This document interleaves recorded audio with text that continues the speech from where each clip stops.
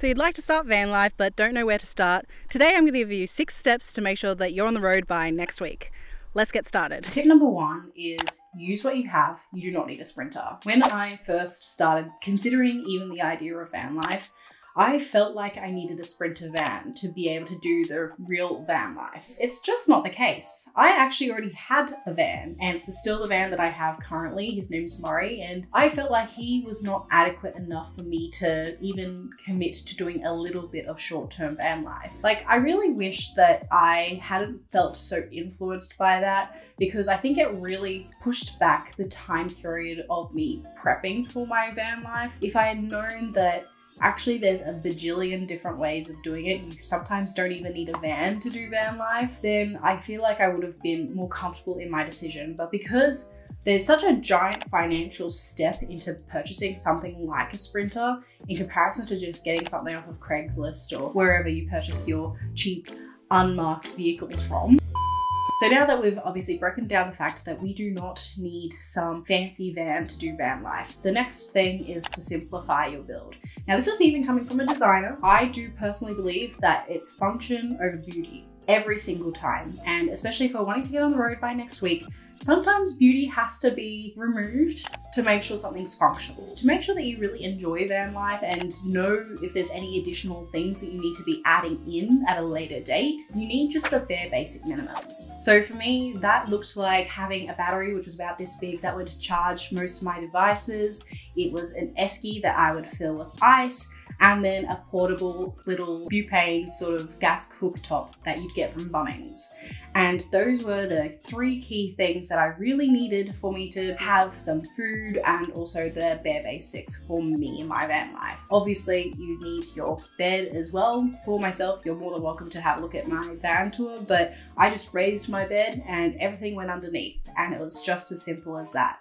Of course, you could go ahead and build things in, but doing a no build, especially in the very beginning, just to ensure that you do enjoy it and you're not putting all this money in for the sake of just trying it. You do not need to have freestanding shower or a toilet or a Murphy bed or anything crazy like that. We just want to have the bare basic simplicities that we need for life. Just think about what you need for a camping trip. Honestly, majority of the things that you need for camping is the exact same thing you need for van life. And I think camping really allows you to narrow down on the bare necessities rather than trying to look at it as like a small apartment or condo or something like that, because then you start putting in things that you don't necessarily need. So much like camping, we are not going for an entire year. Our first goal is just to go for a weekend. And I know that, you know, you want to go all in, but if you go for just the weekend, that'll usually give you a pretty good indication as to whether or not there's certain things you need and whether or not you've got things that you probably don't actually need in your van already. All I want you to do is go for maybe an hour or two away, go to a campsite where there are going to be other campers there and just test it out because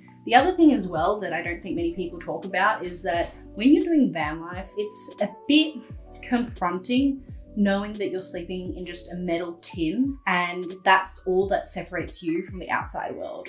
Especially when I was doing solo traveling, I needed to be able to start getting comfortable with the idea of, okay, I am safe in my van, I'm totally okay, but it was something I had to kind of work through. So having just a small weekend away, making sure that you can actually cope with that is a big thing that you need to be able to do. And this next tip definitely goes alongside that and it's definitely going to be the weirdest tip that I'm going to be giving you here, but I want you to eat alone in a car park. I know it sounds weird, but what I want you to do, I want you to make some two minute noodles at home, drive down to your local supermarket, stand outside and eat your two minute noodles by yourself. Do not be watching your YouTube or your TikTok or anything like that. I want you to just sit in the uncomfortable feeling that people are going to be watching you. They're going to be looking at you like you're a weirdo. There's a very, very specific reason as to why I want you to do this.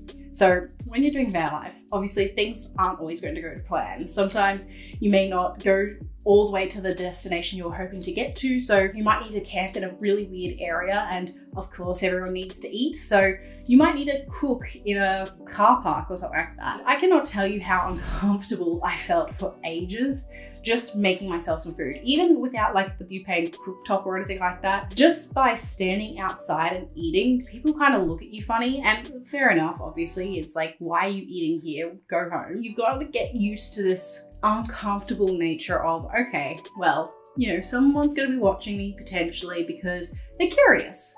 And that's totally okay for them to be curious, but you're just going to become very self aware. So just try it once, get used to the feeling. I know it's to be shit. I kind of wish that I had prepared myself for that because I kind of had to figure that one out on the road and I felt so uncomfortable and I really didn't even like cooking on the road as well because I just felt like everyone was looking at me like a weirdo and I couldn't really do much about it because I needed to eat. Step number five is go to the mechanic. I know it sounds very obvious, but you need to know what's wrong with your vehicle and to keep an eye on certain things and obviously get things fixed up before you leave because the worst thing possible is you start traveling and then your van breaks down on you and you're stuck in the middle of nowhere with no self service and you're like, great, this is how I die, and it's just an extremely stressful situation. So we want to try and minimize the possibility of that. And even just knowing the quirks of your vehicle. So like if they say, oh yeah, your van makes a weird noise, but we can't figure out where it's from, it seems fine, so you should be okay. At least when you're hearing it, you're like, okay, in theory, should be all right, not something to worry about. Mechanic said it was all good. I've certainly learnt my lesson with that one. Um, I took mine to the mechanics and everything like that. And even with me going to the mechanics, mine still decided to die on me. And there will be a video coming out shortly about everything that's happened most recently with my van. It does seem like it's finally working again, which is very exciting but it took a month. And that's another thing that you need to keep in mind. If your van does break down, you need to have a backup plan because there's a very low chance that the mechanic's going to be like, yeah, yeah, yeah, you can keep sleeping in your van while I fix it. You need to have either some backup money for a hotel or travel to places where you may have friends. So worst case scenario, you could go ahead and couch surf for a couple of days because there's nothing worse than having your van break down and then being stranded and thinking, oh gosh, what am I going to do with myself now? And as someone that has had a van that's been very broken down for the last month, it's certainly uncomfortable. And thankfully, I'm in my own home state and I'm at my own home now. So, you know, it wasn't the worst thing in the world, but it could have been a lot worse. So keep that in mind. This final tip, I know you're going to hate because I'm sure everyone says it, but just start. I know it sounds really, really simple, but you need to just test it out, test the waters, go on your little weekend away first, make sure you enjoy it, see if there's anything else that you really need in your van before you just commit. Because sometimes when the dream is so big and just looks so scary, we sometimes procrastinate and just put it off for a while. And then we're like, oh, yeah, yeah, I'll go by the end of the month. Oh, I'll go by mid June. Sometimes when you're trying to aim for perfection, you just continuously find things that you need to perfect. And particularly with van life, like it is always a constant work in progress. Like even the most beautiful looking vans will have its own quirks and you know the people might need to fix it to a certain level and degree. The thing is is that van life is not about the van. It's about what the van can give you which is the lifestyle. And if you want to be out on the road and you know seeing all these beautiful things you're not going to be thinking about the van that you're sleeping in at night. You're going to be thinking about the fact that you're traveling to all these amazing places seeing all these amazing things and experiencing all these amazing people and places. That's my last little tidbit for you but but now you are most certainly ready to get onto the road. So thank you so much for watching and I'll see you on our next adventure.